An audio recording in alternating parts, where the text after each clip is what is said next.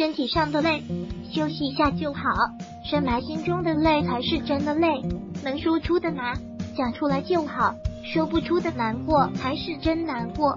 也许是为生活压力，也许是为感情纠葛，也许是为周全他人，也许是为成就自己。有些时候心里委屈，哭不出来，咽不下去，只能用悲伤埋没自己。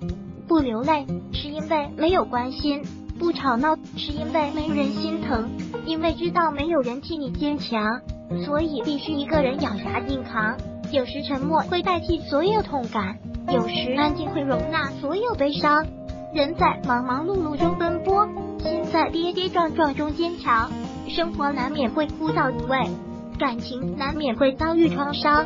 我们不能改变的太多，却唯有放下，好好生活。这一生都分外匆忙。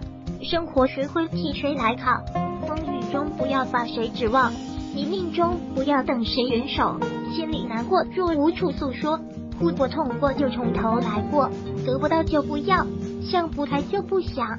生活只要尽力就好，感情只要尽心就行。有错咱就及时修正，伤害咱就及时弥补。愚人但求问心无愧，与己但求无怨无悔。如果喜欢本视频。请分享并订阅本频道。